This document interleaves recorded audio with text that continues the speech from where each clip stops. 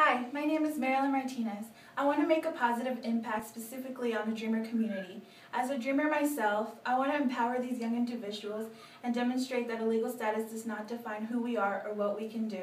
I also want to promote our Mexican culture and demonstrate that we're capable of being the next successful generation.